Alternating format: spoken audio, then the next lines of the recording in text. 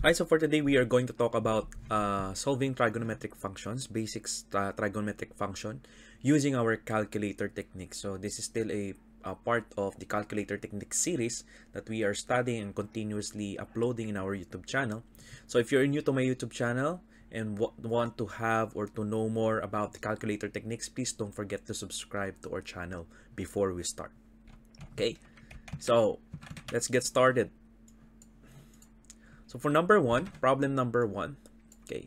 So we have uh, evaluate sine of x plus sine of plus 3x, uh, sine of x plus sine 3x all over cosine of x plus cosine of 3x. So the very first thing that we're going to do here is to um, let x equals 5. So the first thing is make sure that your calculator is in degree mode. So let's type sine of x plus sine of 3x all over cosine of x plus cosine of 3x. So what we are going to do here is we're going to use the calc mode by substituting a value of x. So if we do that, calc, the calculator will ask you what value should you substitute with the value of x. And if, if we are in the case of trigonometric functions, we can press 5. Okay, use 5. So as you can see here, we have an answer that we're going to store it to A for comparison with our choices.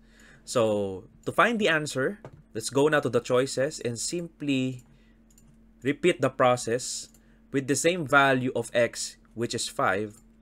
Whichever is the same for the value that we have a while ago, uh, that will be the answer. So obviously, letter A is not correct. So because when we divide that answer by the value that we have already or we got on the first thing, okay, we stored it to our variable a.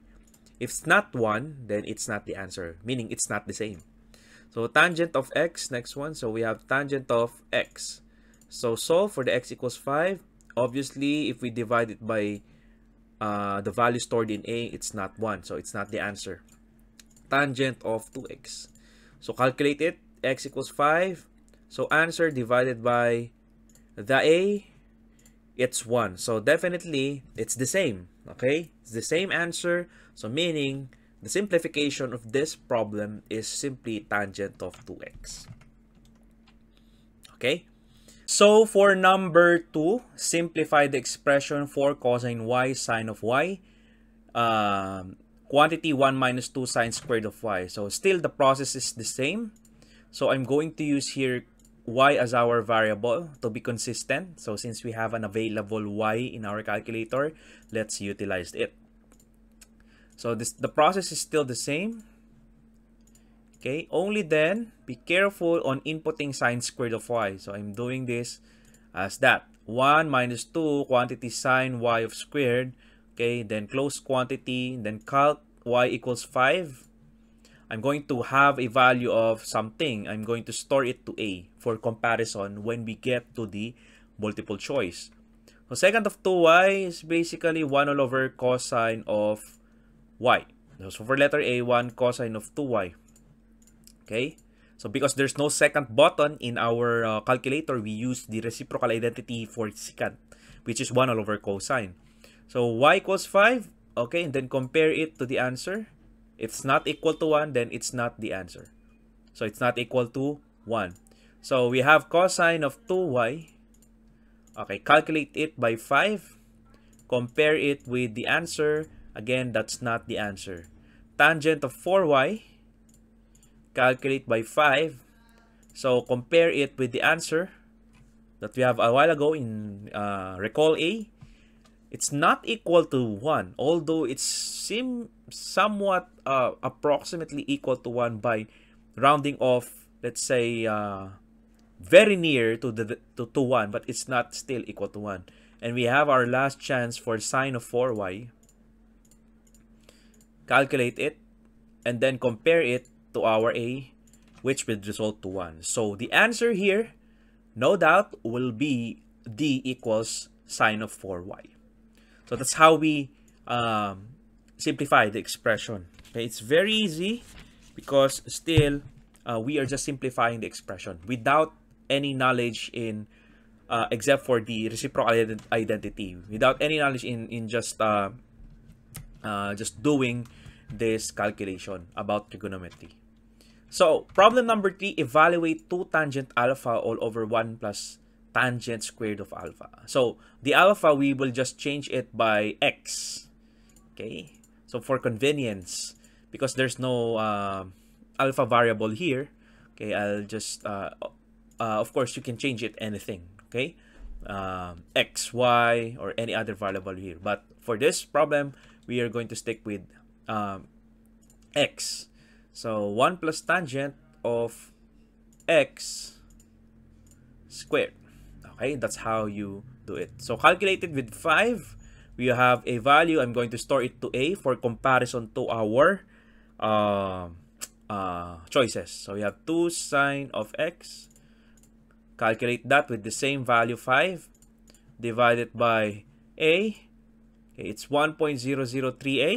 Although it may be what uh, almost equal to 1 but it's not totally equal to 1 so moving on to 2 cosine of x or alpha calculate with x equals 5 divided by the a still 11 that's not correct okay so second one we have 2 secant so 2 secant so that would be 2 all over cosine Okay, because the reciprocal of cos secant is cosine. So solve it using 5. Compare it with the answer. It's still 11. So how about 2 cosecant of alpha? So that would be cosecant equals 1 all over sine. So this will be sine, okay, x or alpha. x equals 5. Okay, so we have to have there, compare it, that's 132. Okay? Okay. So, as you can see, all of the values B, C, and D have a long way values, okay, have a very far value to 1. The only thing that is approximate to 1 is the letter A. Okay? So because of the value of, we, we got a while ago, 1.0038.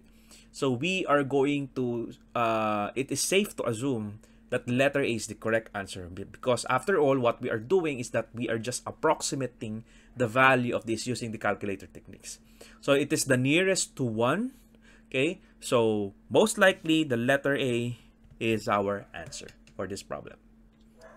Okay, so for, for problem number 4, if arctan 2x plus arctan 3x equals 45 degrees, what is the value of x? So it's very simple because you have the choices. So the first thing we're going to do here, we have arctan of 2x, then plus arctan of 3x, okay? So you can have shift solve for this, but as for me, I'm just going to write the arctan of 2x plus arctan and 3x and then calc by the choices. Okay, what whichever choice will give 45 degrees, that's the answer. So I'm, I'm going to have 1 all over 6. Boom, it's 45 degrees. Okay, calc again and let's try another one. That's 1 third. Oh, it's not 45 degrees. Again, try again another value on the choices. 1 fifth. It's not 45 degrees but rather 52. Calc again, let's try 1 fourth. Okay, so it's not 45 degrees. The answer that will uh, give you a 45 degrees is the 1 all over 6. Okay, so again, 1 all over 6, that's 45. So the answer here is letter A. Okay. So for our last problem, evaluate arc cotangent of square root of 3. Okay. Evaluate arc cotangent of the square root of 3. So we know that uh, this uh, arc cotangent of square root of 3, that would equal, if we are going to continue this, that would equal to some value of theta or some value of uh, radians. Okay? Or the, uh, radians uh, in terms of radians. So what we are going to do here, I'm going to shift first my mode into radians. Okay? So because the, the choices here are radians. So we want to make sure that if we evaluate our calculator, it will give a radian value of the uh, the angle. Okay. Evaluate arc cotangent of the square root of 3. So what we are going to do here is that we know, we very much know that the, uh, what do you call this? The arc cotangent of square root of 3, if we transpose that, okay, on the right side of the equation, that becomes cotangent of some certain theta. Okay? So imagine it. So imagine I'm transposing this on the other side equals theta. I'm transposing it, it becomes cotangent of theta on the right side. So we are left with square root of 3. Our equation becomes square root of 3 equals cotangent theta. But you know that cotangent of theta is 1 all over tangent of theta. Okay? So that's 1 all over tangent of theta. So what are we going to do to solve the theta? Okay? So we are going to cross multiply this one. Okay? So cross multiply square root of 3 all over 1 tangent of theta. Okay? So tangent of theta becomes on the left side equals 1 all over square root of 3. So tangent of let's say theta now becomes 1 all over square root of 3. Okay? Because I've I've just uh uh they call this uh cross multiply the two. Okay? So in order for me to get x here, I'm going to transpose tangent on the left side. So this becomes arctan of 1 all over square root of 3. And that's the arc cotangent. Okay? So it simply means that I get the reciprocal of whatever is inside this arc cotangent. Not just arc tangent or 1 all over arc tangent. That's that's the, that's that's not the same. Okay? So this becomes arc tangent of 1 all over square root of 3. Okay? Again, what we did is the cotangent, okay, we transpose the cotangent uh, raised to negative 1, arc cotangent to the right side of the equation that has theta, which in this case is x. So it becomes cotangent of x.